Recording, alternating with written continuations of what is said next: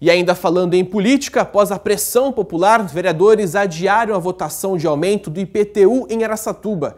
A sessão foi muito, muito tumultuada e precisou ser suspensa quatro vezes.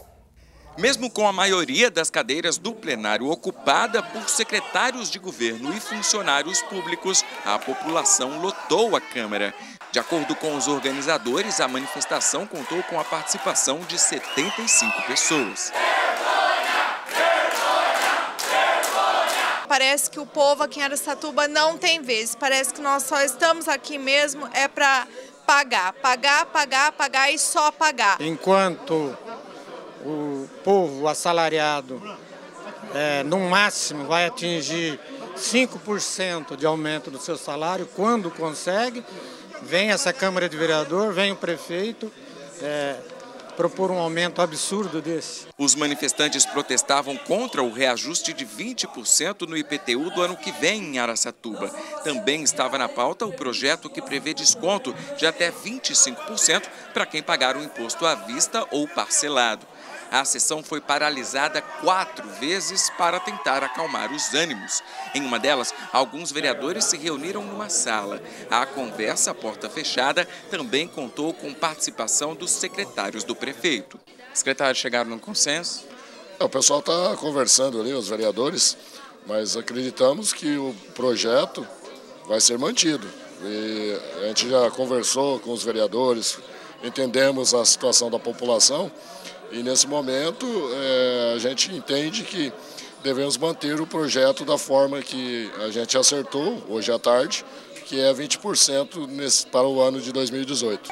A sessão já está suspensa há mais de uma hora. Mesmo assim, a população continua aqui na porta do plenário, esperando a volta dos vereadores, mas por enquanto as cadeiras continuam vazias. É um descaso, nós votamos nele.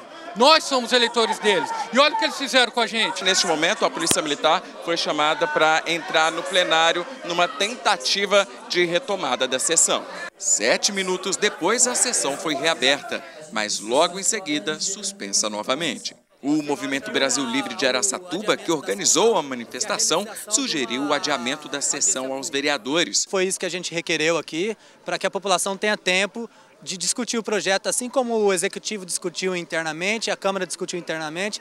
A gente acha que é um projeto muito grave que a população tem que ser ouvida antes da Câmara e tomar qualquer decisão. Os projetos agora devem ser apreciados na sessão do dia 20, já que na semana que vem, dia 13, vai ser analisado o orçamento para 2018 decorrer desses 15 dias, vamos estar dialogando intensamente com o Executivo e também ouvindo a população para que a gente possa achar um termo que a gente possa conduzir de forma razoável, que as pessoas possam ser beneficiadas e a gente também dê condições para o Executivo poder caminhar.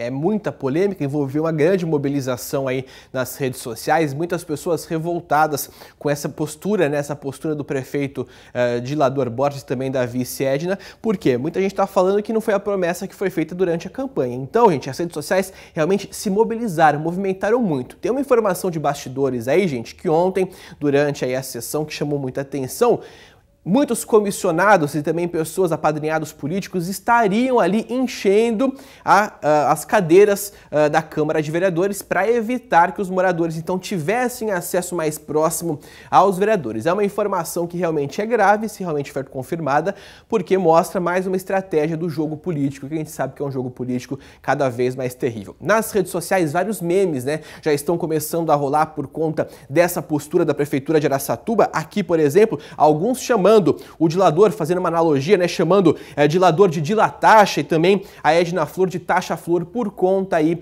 desse possível aumento uh, no IPTU. Muita discussão vai ter, dia 20 eles voltam, na semana do dia 20 eles voltam para fazer mais uma discussão. A, a, dúvida que fica é a seguinte: realmente vão ouvir a população? Vai ter essa discussão? Ou foi realmente só para apagar um pouco o incêndio que eles empurraram para frente? Vamos acompanhar para ver o desdobramento de toda essa história.